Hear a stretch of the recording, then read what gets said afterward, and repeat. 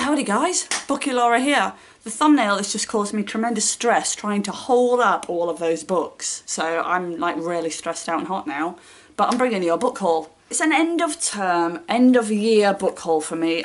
I am really fortunate in that the that I'm a teacher and the children that I work with every day are incredible and at the end of the year I'm so so lucky that some of them feel um, feel like they want to buy me a gift. And that's really lovely and really sweet. But what I like even more than that is that how thoughtful they are. That actually a lot of the gifts are really really speak to me. I'm not going to go through all of them. I'm only bringing you the book related ones um, plus a couple of other books that I happen to have picked up. But I just wanted to share them with you because I think they're really thoughtful and amazing so, where to start? tell you what I'll do is I'll start with the random books that are completely unrelated to the end of term book haul. I went to the library, that's the long and the short of it, and I just, our library's closed for a refurb, but they had a mobile library, which is very exciting, except for the fact that I get serious motion sickness, so I have to stand very still and can't be on the bus while anybody else is moving around. But anyway, I picked up some books. They're all space related because I'm teaching space in September, and I don't know, I just fancied some non-fiction space stuff. So I got 100 things to know about space because I just thought I kind of liked how picturey it was. I mean, these are all kids' books, but I, it will give me the knowledge that I can then impart on the youth. Uh, Why Spacemen Can't Burp, which is by Mitchell Simons, Simmons, twice winner of the Blue Peter Best Book with Facts Award. There ain't no better uh, qualification than that. And then the one I'm most excited about is Beyond the Sky, You and the Universe by Dara Ó Briain. Dara Ó Briain. Uh, I think he's absolutely hilarious. I'm really looking forward to reading this. Really, really. So I picked those up at the library. What else did I pick up? Oh yeah, I randomly uh, stole, stole is not the right word, gave this book a new home. Basically we had the whole book sale thing at the end of the year and then there were some books that were left over that would go to the world of books. I don't know what that is. But anyway, I saw this in there. It's Caitlin Moran's Moranthology. And I read her How to Be a Woman book and really, really enjoyed it. Speaks to the feminist in me, but also it's quite humorous. So I decided I would give that a whirl as well. Just, you know, saw it in a pile of books and took it. Um, then I got a selection of gifts, which are most kind. And I just want to share with you because I think they're amazing and they're really, really thoughtful. So one uh, young girl in my class who shall remain nameless, bought me a, a, sort of parcel of booky things, which I thought was really cool. So she got me this little um, book, ooh, bookworm badge, which, you know, is me all over. Uh, she also got me this fan, which is like a book fan. I mean, it's got, it looks like a book on the side and then it's the pages inside. And to be honest, it is absolutely roasting today, so I need that. Uh, she got me a book light and some other stuff as well, which I can't remember what it was. But it was all book related, which I thought was really thoughtful of her and really, really sweet. Um, another girl in my class got me this book, which on the face of it looks incredible because it's Roald Dahl, you know, a sort of anthology of a few of his. It's got that old yellowing pages thing. But even better, when I opened it, I was like, this is an amazing gift. And then I opened it and you can't really tell. Inside it's cut out so the pages are like glued together and then she cut out the middle section and she had some homemade brownies in there which was really lovely and you know amazing. And I said I'm going to use this to keep secret stuff in. So if you ever want to like break in my house and steal my let's move on.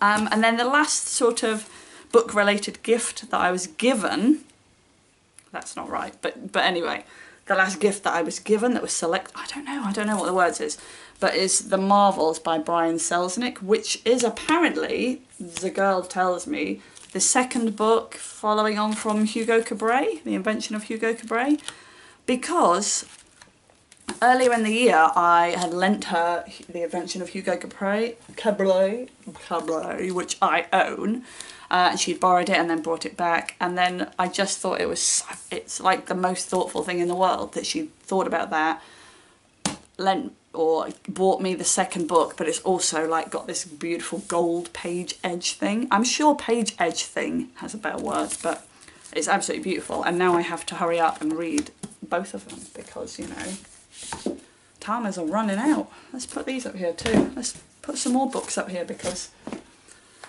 they're looking empty. And then last but not least, and I don't mean least at all because they are amazing, uh, a few children, three different children in my class uh, bought me vouchers to buy books with, which, oh my word, gets me excited. So I have I went to the bookshop today and bought myself six books using them. So I'm going to do them in pairs um, and pretend that each child bought me two books. They were all, I think, all buy one get one half price because I love a good deal. I love books and I also love bargains, so speaks to my heart right there. Um, anyway, moving on.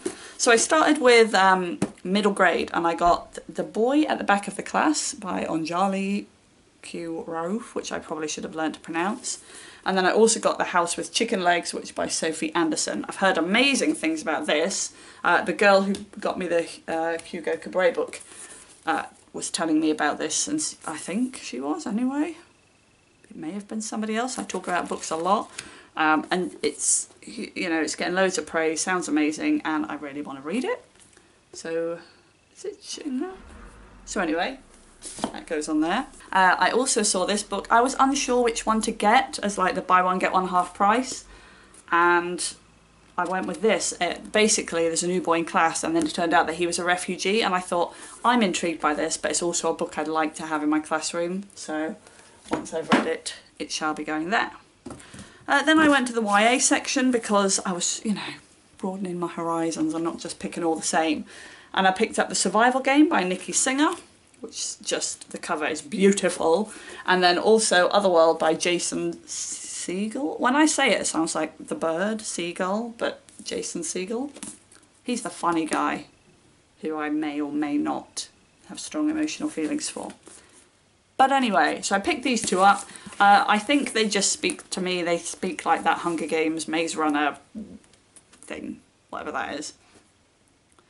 I mean, this starts with Mhairi owns only two things, a gun with no bullets and her identity papers. She's got to survive. It's the survival game. It sounds amazing. It sounds dystopian. Love dystopia. And then Otherworld. There are no screens, there are no controls, you don't just see and hear it, you taste, smell and touch it too. In the new reality there are no rules to follow, no laws to break. Kind of sounds dystopian and definitely sounds sci-fi. Oh no, I am running out of space. And then finally, I headed to the adult section to get Buy One Get One Free, and I got How to Stop Time by Matt Haig and Why Mummy Drinks by Gill Sims. Yes, Gill Sims. So I don't think I have to explain why I'm buying this book, but basically Span read it recently. I'm going to see Matt Haig in October. I love his work and I knew that I wanted to pick one up and she said it was amazing so I, I it was the only one. It was the only one in the buy one get one half price as well which shouldn't be a deciding factor, but when you're as tight as me, it really is. And then uh, Why Mummy Drinks by Gill Sims. It sounds, firstly, I mean, it speaks to my heart, but secondly, uh, she's coming to the Salisbury Literary Festival too. So when I saw it, I went, oh, you know what? I don't think I'm going to be able to see her, but it, it would be nice to read a book by her. So that's my little book haul. I mean, I, I do feel so fortunate and I, I kind of want to make this video as a thank you to those children who are so kind and not just to these children who brought me these gifts, although, you know, top marks to you guys, but also all the children who bought me gifts because they are so generous and end of term is a manic thing, especially when you teach the year group I teach and it's, it's been it's been really emotional. Gonna miss those guys. I've taught them three years in a row and they are off to secondary school now emotional. Thanks guys, it's been beautiful. If you've read any of these books, let me know. And if you think I have a book buying problem, don't let me know. I know I do. Thanks for watching guys, and I will see you next time. Bye bye.